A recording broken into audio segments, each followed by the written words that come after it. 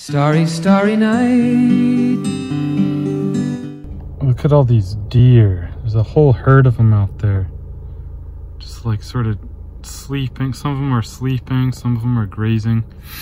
I kind of woke them up though because I turned my lights on to, uh, I had to do something with my car.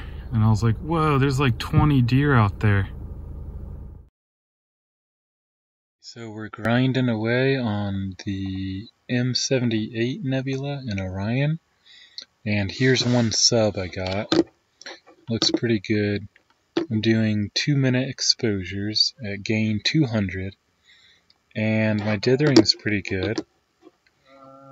I'm sorry, my my auto guiding is good. And um, this is luminance. And what I'm going to do tonight since it's uh, I got a late start, I had to do some mount calibrations and fix some problems. My first sub was um, a little after 10 p.m. Sunset at like 5:30, so I lost uh, three or four hours um, fixing my mount, but it's okay. This is just the the, the first uh, data run anyway on this target here, M78. It's got a really cool look to it. We have my imaging sequence for M78. I'm working on the green channel right now. I just had a meridian flip a little while ago. And let's take a look at my guiding. Alright, so the guiding is pretty good. Um, I'm getting about a quarter of a pixel RMS, uh, which corresponds to 0.88 arc seconds. As you can see on the bottom left over here, I had a dither event here and a little one over here. And so those dithers are going to um, artificially exaggerate the guiding um, statistics on average, but so I'm getting a, at most 0.28 pixels RMS. I have a decent guide star over here with a pretty tight HFD of about three and uh, everything's going well so far tonight. I'm out here in the cold. Had a little bit of some wind going on earlier, but I set up a um, it's like a beach umbrella. It has a big um, sort of wind shield effect going on. Let's take a look at my imaging sequence. It's pretty good so far. These stars are nice and round and tight. You can see some great nebulosity in here and here. It looks like I framed it weird, but you'll see there's a bunch of uh, dark dust lanes over here that pop out uh, once you've stacked a lot of subs together. Um, so after green, I'm going to do 20 red at 2 minutes apiece, so that's another 40 minutes. I have 5 other green subs I took, so it's all the same. 40 minute exposures for the red, green, and blue, and blue I did earlier. Had a little trouble with my software, so I ended up um, starting a new sequence with just the green and red, and I got two hours of luminance tonight. And so I'm looking forward to trying to get a little more luminance after I finish the color bands.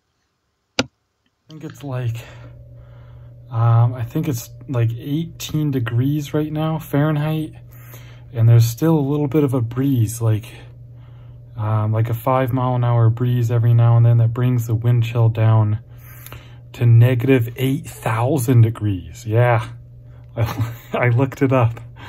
No, but really it, it probably gets down to like uh, like 14 degrees Fahrenheit with the wind.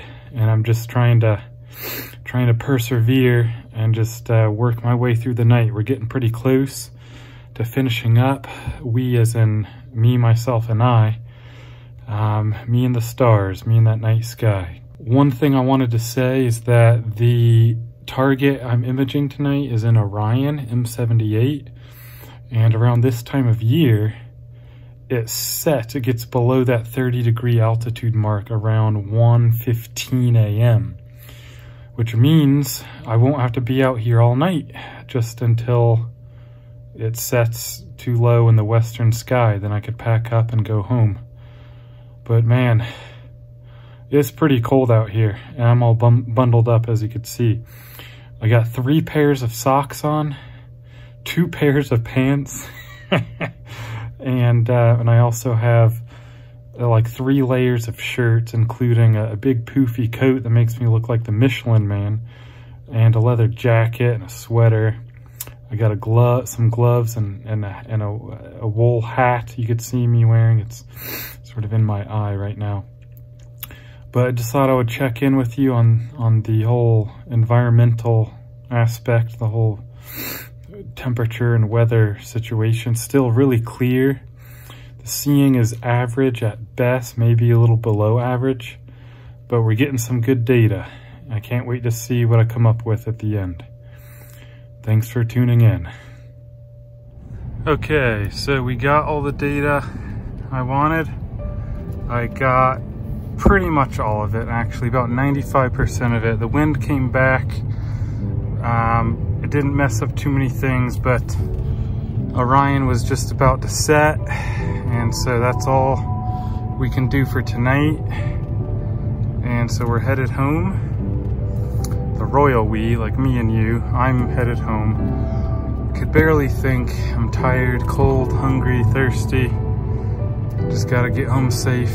These are just the back roads here to the exit of the park, so it's okay to record while talking, but uh, I'll uh, let you guys go. We'll talk later at the end of the video. Please like and subscribe. Thank you very much.